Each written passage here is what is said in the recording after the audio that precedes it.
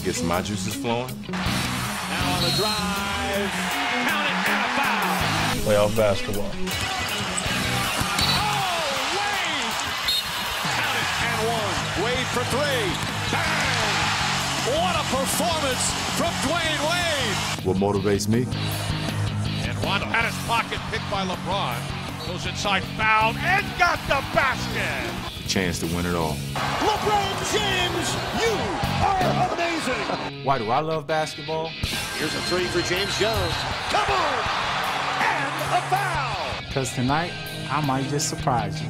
Here's the big tip. Dexter Pittman. He is good down there, coach. Long pass caught by LeBron. Touchdown! It's worth watching.